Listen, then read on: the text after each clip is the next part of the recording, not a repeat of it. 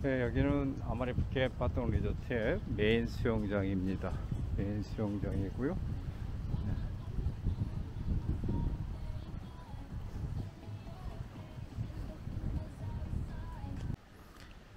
네, 이곳은 아마리푸켓 바통 리조트의 수영장입니다.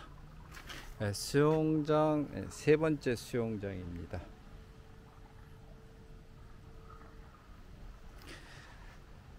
자, 이 수영장을 촬영해 보겠습니다. 먼저 이곳은 수영장 프론트 데스크입니다. 타월이 이와 같이 있고요. 체크인을 하도록 되어 있습니다.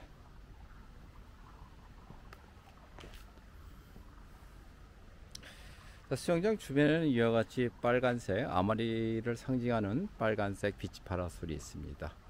beach chair가 이와 같이 잘 준비되어 있습니다.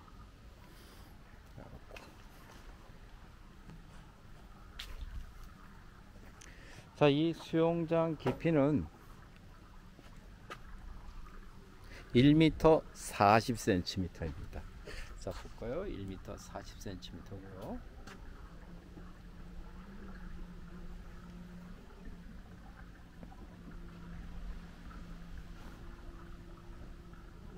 네, 1m 40cm입니다. 1m 40cm이고요. 10유입니다. 부분적인 10유죠. 바다가 보입니다. 자, 여기가 1m 40cm이기 때문에 다이빙 하지 말라고 경고를 합니다. 가끔 다이빙 하는 사람도 있나 봅니다.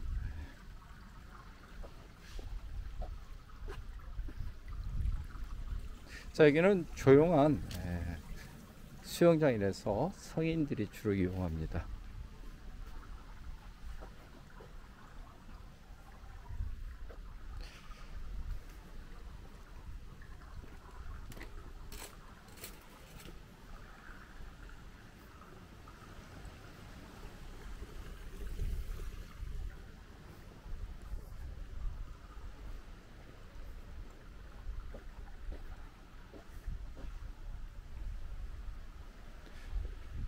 수영장 모습이고요.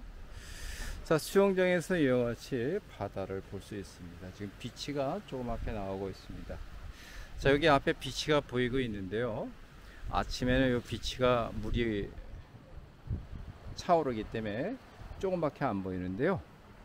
오후 3시가 넘어가면은 비치가 좀 폭이 넓어집니다. 물이 좀 내려가기 때문에. 자, 여기 비치는 물이 깨끗합니다. 그래서 수영하기에 아주 좋습니다.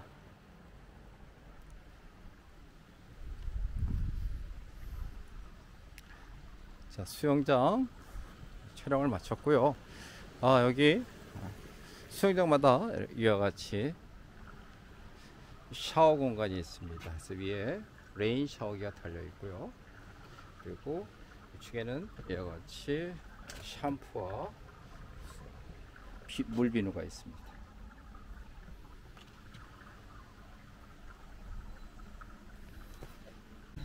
여기는 클럽하우스 앞에 있는 수영장입니다. infinity pool이고요. 네, infinity pool입니다.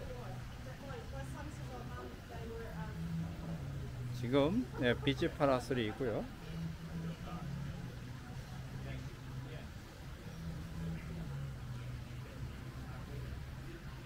자 아래쪽에는 이와 같이 편안한 beach chair가 있습니다. 비치 파라솔이 있고요.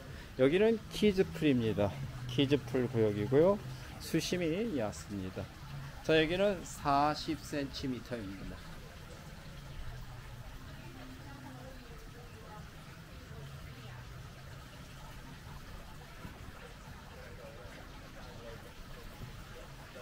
자, 이곳은 infinity pool입니다. 그래서 착시 현상이 일어나는 수영장입니다. 바다와 수영장이 맞닿아 있는 착시 현상을 일으키는 infinity pool입니다.